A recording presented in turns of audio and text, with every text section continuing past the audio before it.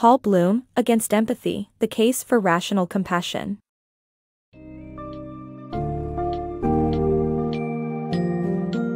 Dive into the enlightening world of Against Empathy, The Case for Rational Compassion, where author Paul Bloom challenges traditional notions about the importance of empathy. By exploring the different types of empathy, emotional and cognitive, Bloom discusses the impact of empathy on decision-making processes and its relationship with kindness, morality, and logic. The book offers a fresh perspective on empathy, recognizing its potential shortcomings and biases, and discusses the need for rational compassion to make better, well-rounded decisions.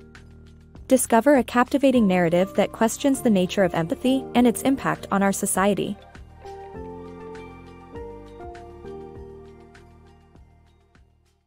Understanding empathy's two forms.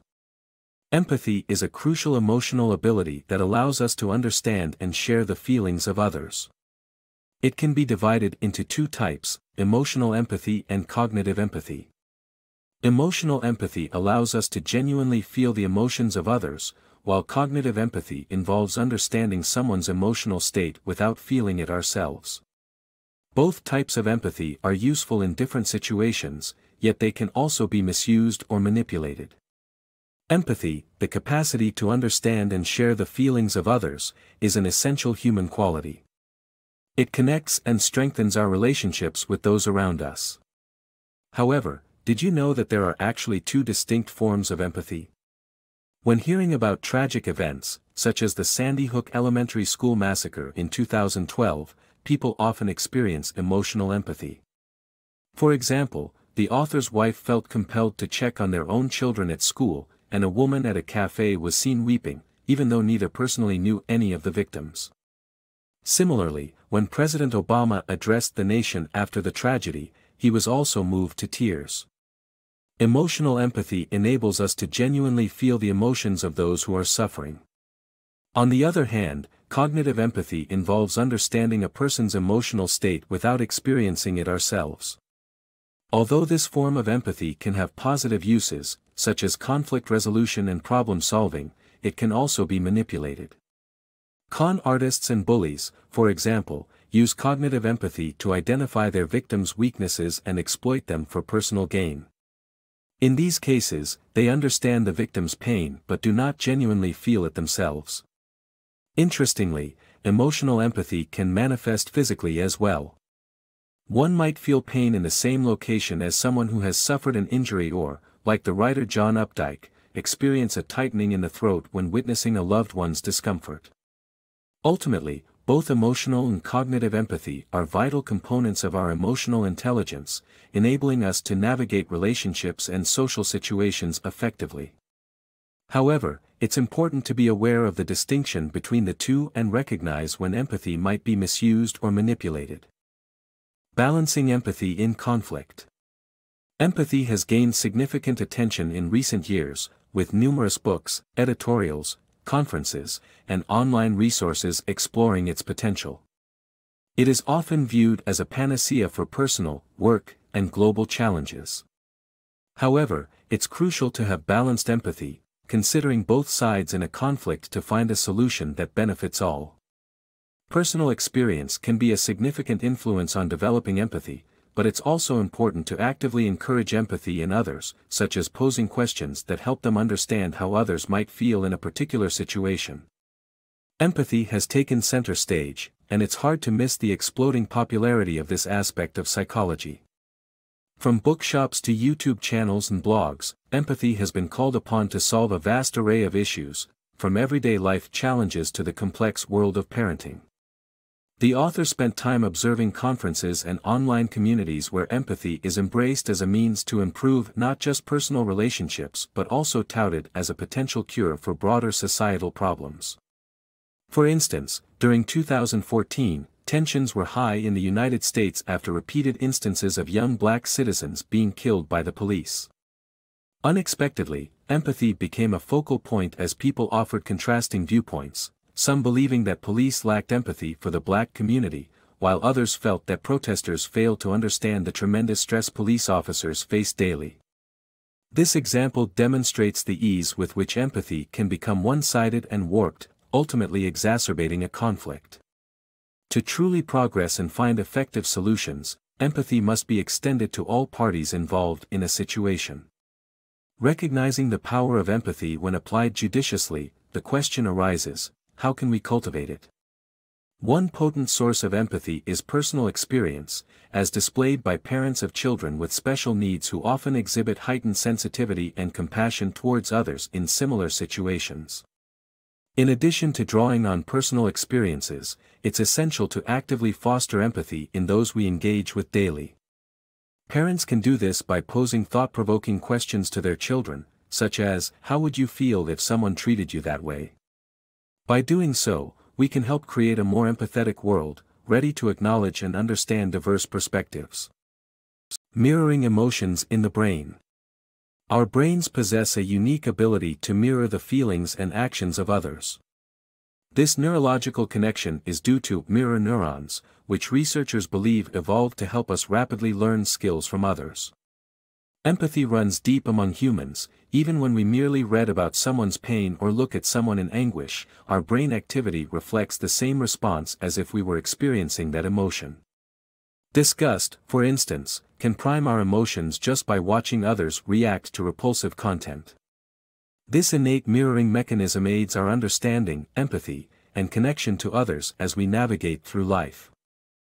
Beyond empathy, kindness kindness's roots. While empathy is often a motivating factor for acts of kindness, there are other important reasons people choose to help others. Some individuals base their actions on moral responsibility, believing that they should do good simply because it is the right thing to do.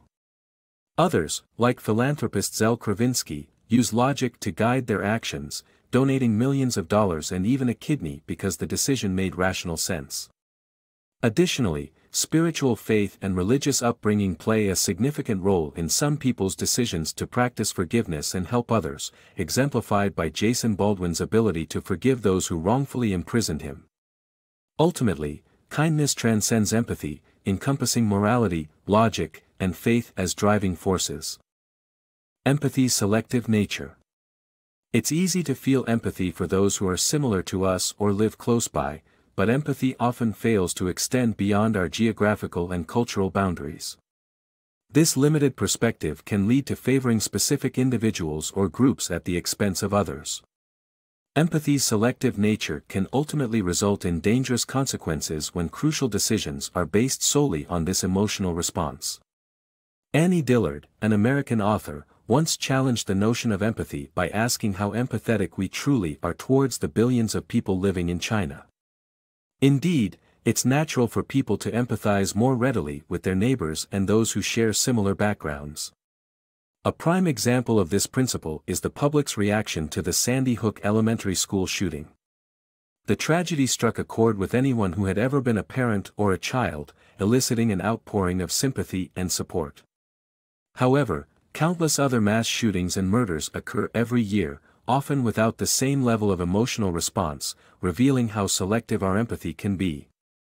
This selectivity is even more apparent when comparing the fates of those affected by tragedies in different countries. While Sandy Hook victims received an overwhelming number of donations, parents in Syria and Sudan who lost their children to violence experienced significantly less support. The danger of empathy lies in its potential to lead us to make decisions that prioritize the needs of a particular minority, ultimately harming the majority. For instance, Rebecca Smith, an eight-year-old girl, nearly died after receiving a contaminated vaccine. Hearing her story would naturally evoke strong empathy and, potentially, a desire to campaign against the vaccine manufacturer. However, that very same vaccine saves countless other children worldwide. Unfortunately, as they remain statistics without individual stories, our empathy often fails to reach them in the same way it would for Rebecca. This kind of emotional imbalance can have grave consequences when it comes to making decisions impacting many lives. Empathy and the blame game. The human tendency to empathize can be influenced by our perception of the situational factors surrounding someone's suffering, their affiliation to our own group, and the feeling of disgust. This leads to dehumanization and a lack of understanding or sympathy for certain individuals. Schadenfreude is a common emotion that arises from a lack of empathy towards others. It is often brought on when we believe someone has caused their own misfortune. For instance, neuroscientist Jean Decety's study, The Blame Game, showed that most participants felt significantly less empathy for AIDS patients who had contracted the virus through drug use, as opposed to innocent blood transfusions. Our sense of empathy varies depending on whether we perceive someone as part of our own group or an outsider. Grit Hein's research with male soccer fans revealed the participants' empathic neural responses were stronger when observing a fellow supporter receiving a shock, while the reaction was much weaker when witnessing a rival fan in pain. Another factor that affects empathy is the presence of disgust. Psychologists Lasana Harris and Susan Fiske discovered that this emotion can extend to marginalized individuals like drug addicts and homeless people. Their study found that when participants viewed photographs of these individuals, the majority exhibited disgust and a lack of empathy in their neurological responses. This led to the conclusion that people are inclined to dehumanize certain types of individuals and refuse to try to understand or sympathize with them. Overall, empathy is a complex emotion that can be influenced by our beliefs about the situation, our identification of one's group membership, and the emotions of disgust. Unfortunately, this can lead to the dehumanization of certain people, resulting in a lack of understanding and sympathy towards their experiences. Misguided empathy. Our empathy often blinds us to the long-term consequences of our actions. Parents spoil their children when giving in to their tears, while charitable organizations might focus on temporary fixes that leave countries dependent on foreign aid. For instance, the Make-A-Wish Foundation spends thousands on fulfilling a single child's wish, which could have been spent on saving multiple lives from malaria. In decision-making, empathy can lead us to choose irrationally and prioritize one person's pain over the greater good. Developing rational thinking is essential to make smart choices that have a lasting impact. When a child cries for a toy, a parent's empathy might compel them to give in, despite knowing that they risk spoiling the child.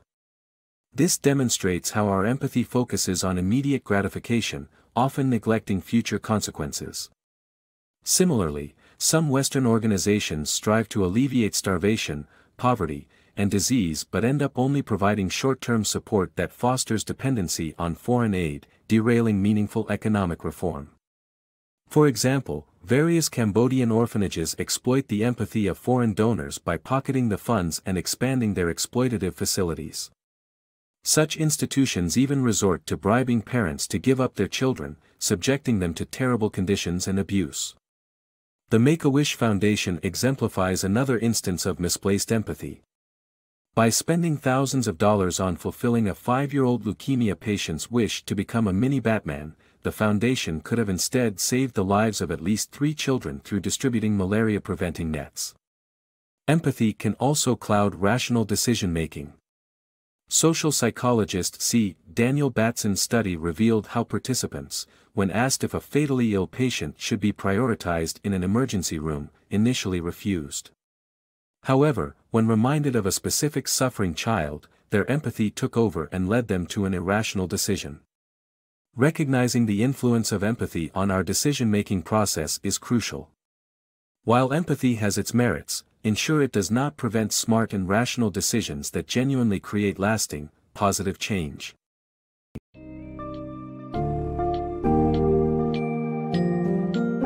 In Against Empathy, the case for rational compassion, Paul Bloom invites us to reconsider the role empathy plays in our lives. While emotional and cognitive empathy can have positive impacts on personal connections and kindness, they can also be biased and selective, potentially leading to harmful decisions.